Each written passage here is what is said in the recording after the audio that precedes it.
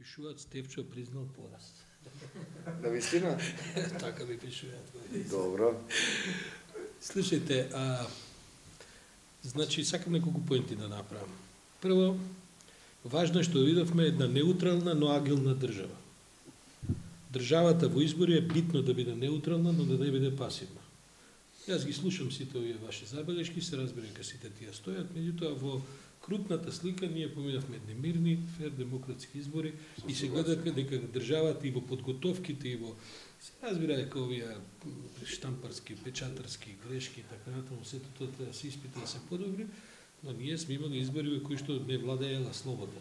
И тоа е ова што затоа сме сите на извесен начин задоволни.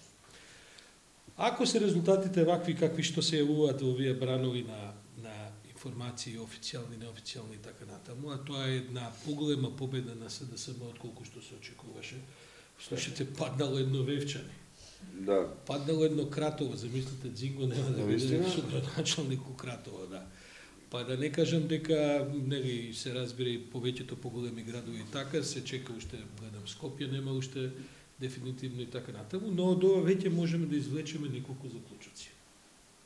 Прво, СДСМ ќе ја зацврсти својата политичка позиција и ќе стане проблем.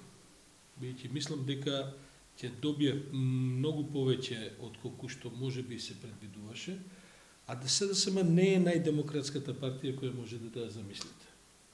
А, важно е што со ова, тоа ќе биде следната анализа што ќе се случува со ВМРО, меѓутоа ние мислам, вклучувајќи ги цивил, ќе треба да се занимаваме се со процесите во СДСМ, Веќе тоа партија која што десетина 11 години не била на власт и кога сега од централно до локално но ќе владее со вакви мнозинства какви што предпоставувам дека трендовите одат натаму, ќе треба да се занимаваме исто така со луѓе кои може би некои од нив ќе се забораат дека сепак е Ние ќе задача да бидат и дека демократијата е најважна локално. Тоа е едно. Второ, Гледайте, сега единственото ми се чини важно прашање во ВМРО е кога и на кој начин ќе си поднесе оставка Груевски. По моја проценка, ако тоа го направи веќе во текот на ноќта, вечерва, или најдоцна утре, на начин кој што ќе му овозможи веројатно да го исконтролира процесот на понатамошните случувања во партијата, тој може и ќе се надева да добие кадровски решенија за себе кои што ќе бидат со некаква негова, да кажем, улога во целото нивно Инаку мислам дека сега може да му се случи уште ноќеска, а секако од утре тоа веќе реална можност, таму да настане една бура. Бидејќи ја гледам јас потопеност и ние знаеме како е. Знаете како е во политиката која губите секој што сами. Која добивате, која победувате сите со вас. Добро. Ние знаевме дека Круевски на излез, но ова сега има да го катапултира бун, бун пак, политиката и сега да не трошиме зборови анализи што ќе се случува со него. Јас мислам дека правната држава ќе се занимава и понатаму со него, но сега се битни наредните 24 сати за да се види што ќе биде неговиот избор во смисла на своето заминување од партијата.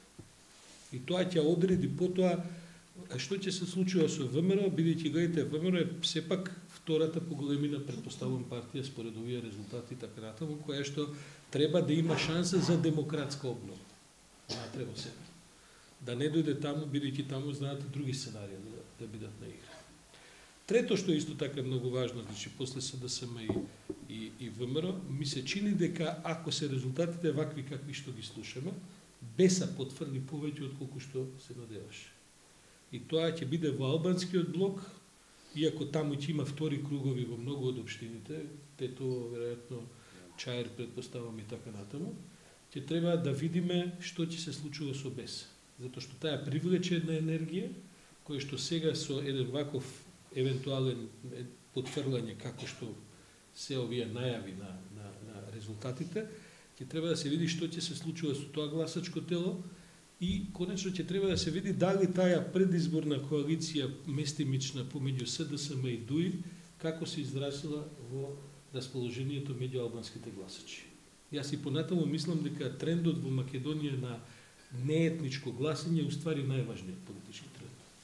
И ако се обидеме да направиме држава во која што сите ќе имаат еднакви шанси зашто се родени како државјани на Македонија, не затоа што припаѓаат на етникум, религија или некаква друга припадност, дека тоа е перспективата на, на, на македонската држава и ние се движиме и со овие резултати натаму.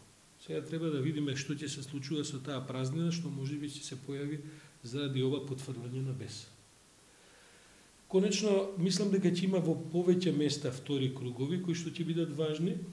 Во принцип во политиката знаете како е, тој што победува со една плима во првиот круг, потоа продолжува да гази во вториот круг, се разбира, тоа не е никаква, никаква новост. Но трендовите се такви што мислам дека ќе дојдеме во ситуација веќе за иднава недела, а веројатно и после вториот круг, да имаме една стабилизирана власт на централно ниво, кој што потоа ќе треба да решава, знаете сега што ќе се случи, следното што ќе се случи, ќе видите веќе во наредните две недели како пребегуваат пратеници од коалицијата на ВМРО.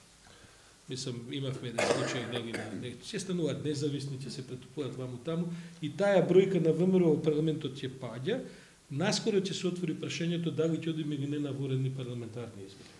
Мислам дека тоа нема да биде возможно, особено ако е добар резултатот за владеачкава СДСМ, секако до пролет, тоа значи дека не се расчисти прашањето за НАТО и отварањето на преговорите со Европска унија, а потоа тој бран како да ви кажам, идната година, не знам што ќе бидат проценките на, на партиите, дали ќе сакат да го кронисаат и со една воредна парламентарна овој трка.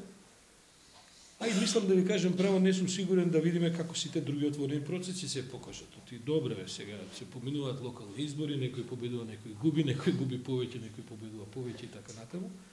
Меѓутоа е важно, мислам дека ваквиот резултат ќе не стабилизира ние се уште живееме во едно време и во една, една, една региона кој сакате и воопште светот е така хаотичен Македонија оди кон едно стабилизирање и кон разрешување иднава година на неколку клучни прашања. Стратегиски прашања, крупни прашања. И тоа мислам дека за тоа имаме силен ветер во едрата.